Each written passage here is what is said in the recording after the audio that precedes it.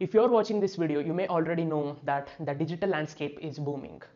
It is giving rise to a new breed of businesses and individuals who are making a full-time living online. In this video, I will present you the top 7 digital industries that are booming. Stay tuned.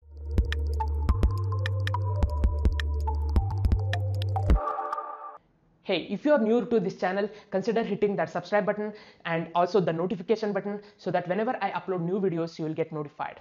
The first one is the e-learning or training industry. According to a research by Global Industry Analysis, e-learning is climbing to $325 billion industry by 2025. So it's still the beginning. So people are realizing that the formal education that they are receiving from even top universities are worthless. They are turning towards niche experts to upgrade their skill sets. And this will continue to rise.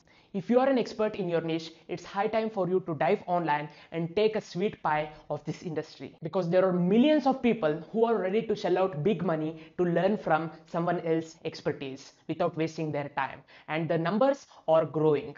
With the first option, you can consider joining uh, course marketplaces like Udemy, Skillshare and start selling your courses. And in the second option, that is my favorite one, you can self-host your training courses and also membership sites by making use of services like Teachable, Thinkific or Podia. So with the latter option, you have many options when it comes to selling and marketing your stuff. You can create an entire sales funnel around your training business you may need to consider getting prospect buyers through social media marketing, webinar sales funnel, blog marketing, email marketing, and much more. And then you can nurture them down the lane to get into your training system.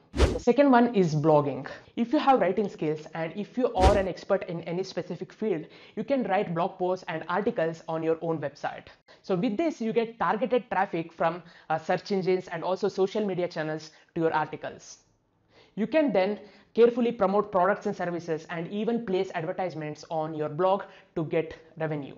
When it comes to blogging, you have many monetization options like placing contextual ads, uh, promoting affiliate products, selling your own products, sponsored ads, and much more. Starting an authority blog in a specific niche and having monetization options of both contextual ads and also affiliate marketing is very effective.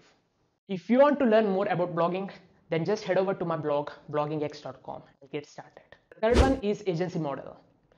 Agency model is a B2B service model where you will be providing uh, services like uh, social media marketing, SEO, conversion rate optimization, and many more services to the clients or other businesses. With TV commercials effectiveness declining, many advertisers are moving to digital media. So it's your opportunity to position yourself as a digital advertising expert through your agency and get more clients. So when it comes to starting your agency, pick a niche. For example, if you are doing SEO services for other clients, make sure you pick a niche.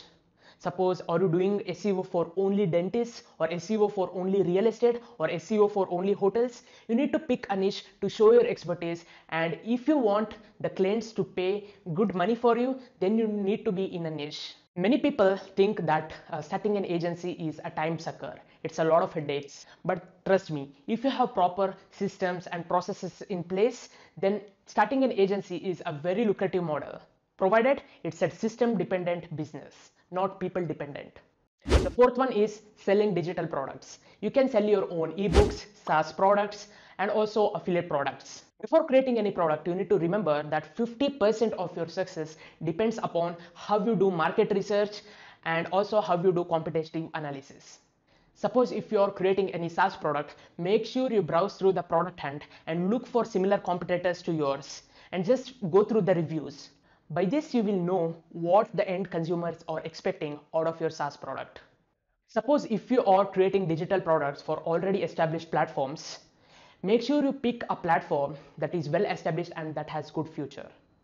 For example, if you're uh, looking to build any WordPress themes or plugins, make sure you build WordPress plugins because WordPress themes, uh, the market is declining. And also you can pick a different niche like developing themes for Shopify or Ghost CMS or WooCommerce add-ons so you need to focus on a niche. The first one is start a YouTube channel. If you are an expert in a specific niche, make sure you create regular videos regarding your niche in your YouTube channel. and the success with YouTube is totally dependent on your consistency. Before creating any video in your niche, in order to find topics, just head over to Google and search for any keyword. So now you can make use of extensions like keywords everywhere or even fully fledged uh, uh, you know SEO uh, research tools like Ahrefs to find the volume of the keywords that you are researching. Now for that keyword, if there are no videos ranking on top 10 of Google, then it means you may consider uh, creating a video on it and get ranked in Google. Because there's a lack of videos for that keyword, right? The sixth one is freelancing.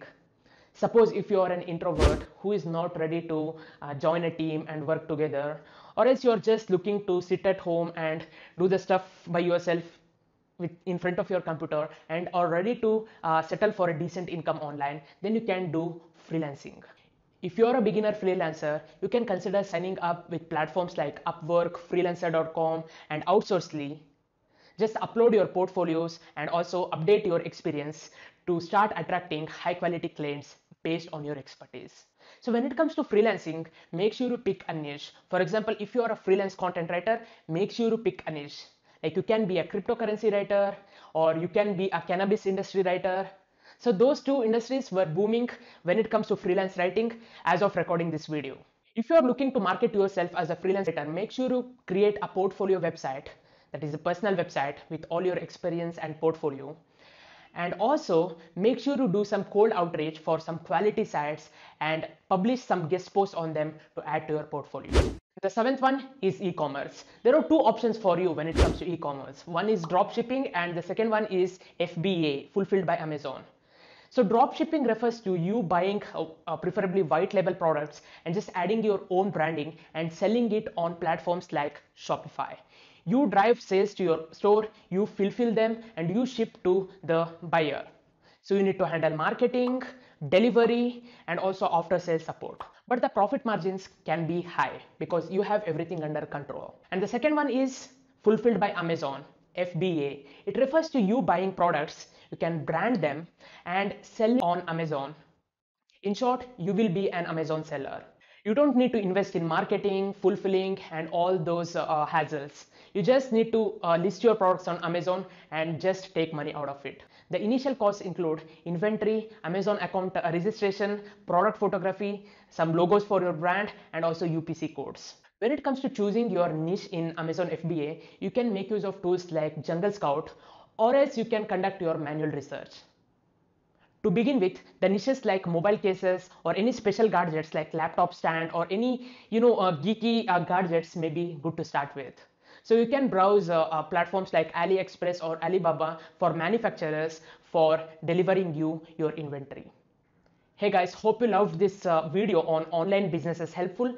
If you have any ideas uh, regarding online businesses, make sure to leave them in the comment section. And if you have liked this video, just hit that like button and make sure to subscribe for this channel for more awesome videos.